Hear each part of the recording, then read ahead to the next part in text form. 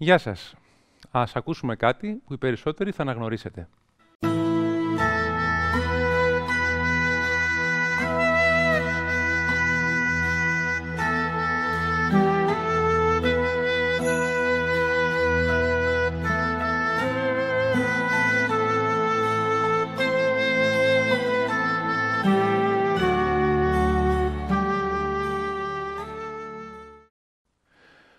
Γνωρίζετε, φαντάζομαι, τον πασχαλινό ύμνο «Χριστός Ανέστη». Την συγκεκριμένη εκτέλεση μπορείτε να τη βρείτε στο YouTube, στο λογαριασμό του μουσικού που παίζει κλαρινέτο. Ονομάζεται Στέλιος Πισής και είναι ένας από τους πρώτους μουσικούς που παίζουν μουσική με τα μάτια. Ας δούμε ένα μικρό απόσπασμα αυτού του βίντεο.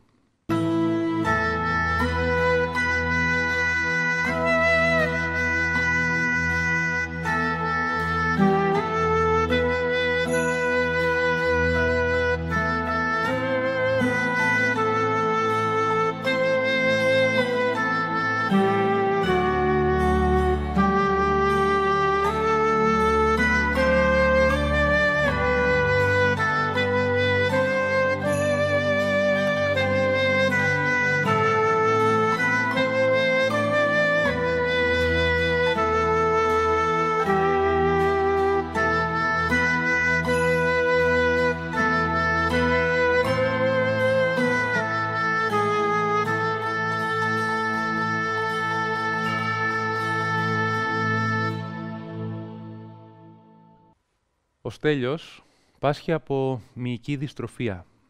Οι μυϊκές δυστροφίες χαρακτηρίζονται από προοδευτική αδυναμία των σχελετικών μειών. Ο Στέλιος γεννήθηκε το 1976 στη Λεμεσό της Κύπρου. Είχε από παιδί κλείσει στη μουσική. Στα πέντε του χρόνια ξεκίνησε να παίζει πιάνο. Την ίδια στιγμή διαγνώστηκε με την ασθένεια. Έτσι, αντικατέστησε το πιάνο με ηλεκτρονικά μουσικά όργανα που απαιτούν λιγότερο, λιγότερη μυϊκή δύναμη. Ώσπου στα 20 του χρόνια σταμάτησε να μπορεί να παίζει οποιοδήποτε μουσικό όργανο. Για 23 χρόνια δεν ξανά παίξε μουσική.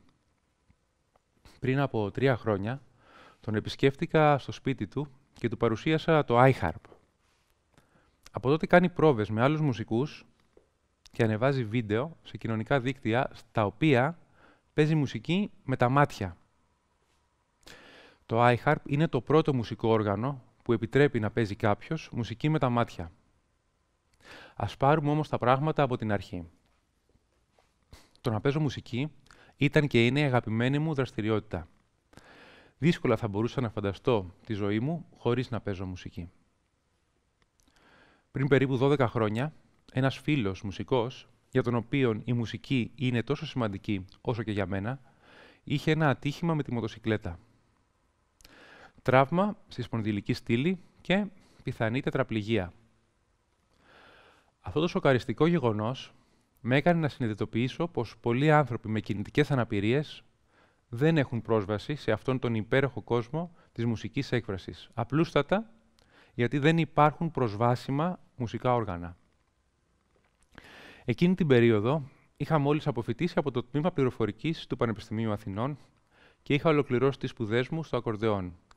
Άρχισα να αναρωτιέμαι αν θα μπορούσε μέσω της τεχνολογίας να δημιουργηθεί ένα νέο μουσικό όργανο για ανθρώπους με τετραπληγία, που δεν μπορούν δηλαδή να κουνήσουν τα χέρια τους. Το 2010 πήγα στη Βαρκελόνη, όπου και απέκτησα τον τίτλο μεταπτυχιακών σπουδών στην μουσική πληροφορική. Το θέμα της διπλωματικής μου εργασίας ήταν ένα νέο μουσικό όργανο που παίζεται με τα μάτια. Το ονόμασα iHarp ή στα ελληνικά ματοάρπα. Έπειτα, κατά τη διάρκεια των διδακτορικών μου σπουδών στο ίδιο πανεπιστήμιο, συνέχισα την έρευνα πάνω σε προσβάσιμα ψηφιακά μουσικά όργανα.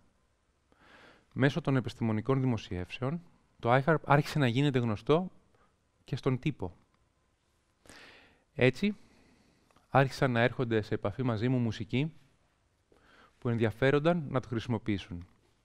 Ένας από αυτούς είναι ο Άλπερ Καγιά, μουσικός και οφθαλμίατρος με πλευρική αμυοτροφική σκλήρινση και τετραπληγία που κατοικεί στη Σμύρνη. Γίναμε φίλοι μέσω διαδικτύου. ήμασταν σε συχνή επικοινωνία και με βοήθησε πολύ στην περαιτέρω βελτίωση του iHarp. Ένα χρόνο μετά την γνωριμία, με κάλεσε, με κάλεσε σε Σμύρνη για να παρευρεθώ στην πρώτη συναυλία που θα έδινε παίζοντας μουσική με το iHarp. Ας δούμε ένα μικρό απόσπασμα της συναυλίας.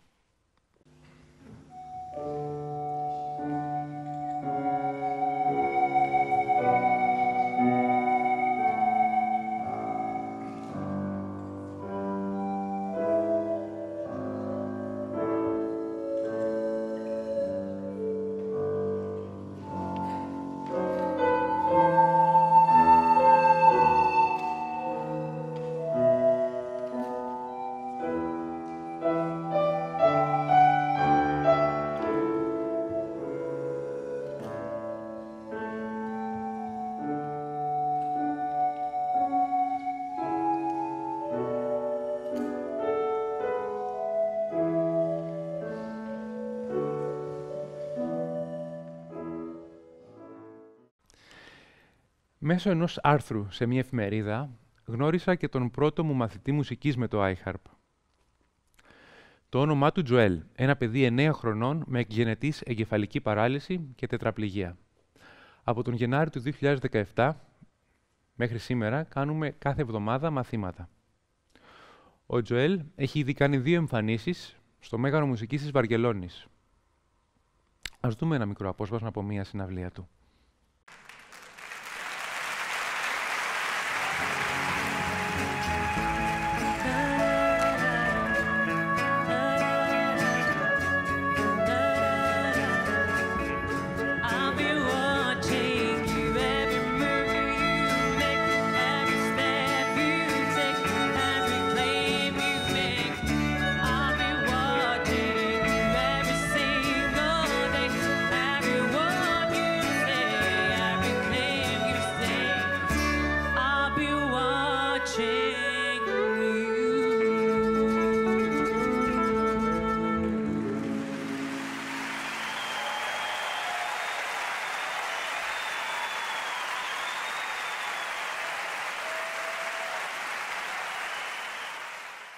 Η εμφάνιση του Τζοέλ σε ένα τόσο μεγάλο μέγαρο τράβηξε την προσοχή πολλών οικογενειών με παιδιά με αναπηρίες στη Βαρκελόνη, αλλά και σχολείων ειδικής αγωγής στην περιοχή.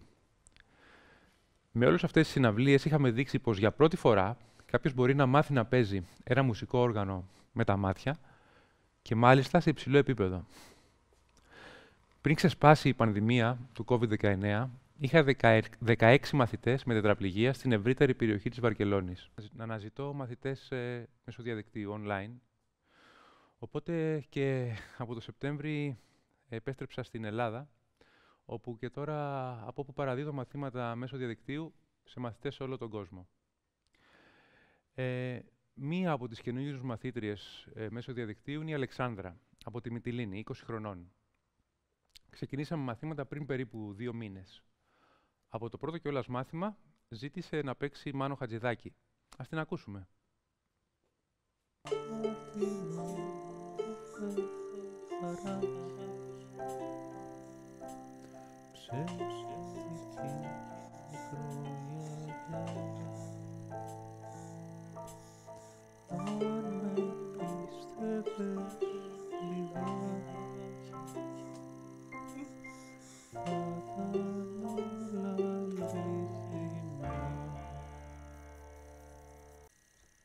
Θες να Θες γράψεις να κάτι; Γράψεις κάτι.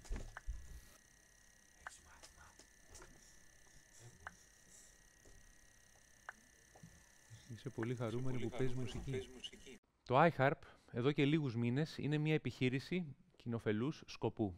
Αποστολή μας είναι η ανάπτυξη και η διάδοση τεχνολογιών που επιτρέπουν τη μουσική έκφραση σε ανθρώπους με αναπηρίες. Η πρώτη εμπορική έκδοση του iHarp κυκλοφόρησε πρόσφατα. Παράλληλα, εκπαιδεύουμε καθηγητές μουσικής και μουσικοθεραπευτές στη χρήση του iHarp. Μέσω της μουσικής έκφρασης επιτυγχάνεται η κοινωνική ένταξη και η βελτίωση της αυτοεκτίμησης. Η μουσική συμβάλλει στην ανάπτυξη δεξιοτήτων, όπως η βελτίωση μνήμης, κινητικών δεξιοτήτων και λόγου. Μέχρι σήμερα αυτά τα ωφέλη δεν ήταν προσβάσιμα στους ανθρώπους με τετραπληγία.